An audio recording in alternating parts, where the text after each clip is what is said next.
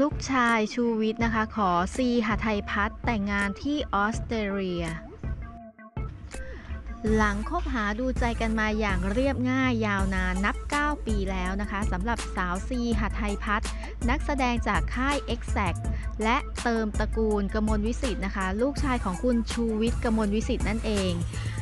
โดยล่าสุดนะคะมีโมเมนต์หวานๆ เกิดขึ้นเมื่อฝ่ายชายได้คุกเข่าขอสาวซีแต่งงานที่ประเทศออสเตรเลียอย่างหวานซึ้ง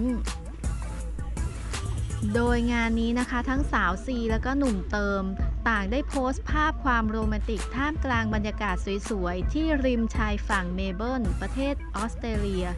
ซึ่งว่าที่เจ้าสาวแล้วก็ว่าที่เจ้าบ่าวมีสีหน้าเต็มไปด้วยความสุข แล้วก็มองตากันอย่างหวานซึ้งเลยนะคะ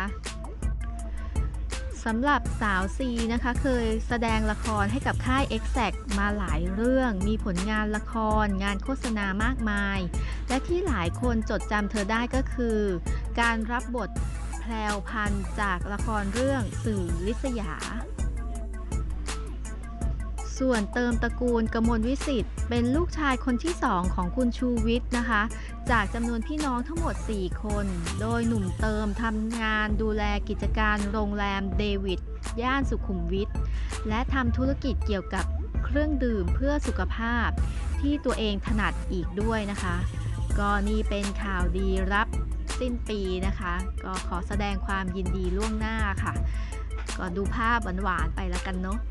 ก่อนจบคลิปนะคะ อย่าลืมกดติดตาม แล้วก็กดกระดิ่งเอาไว้นะคะ จะได้ไม่พลาดข้อมูลข่าวสารใหม่ ๆ แล้วเจอกันใหม่ในคลิปหน้าค่ะ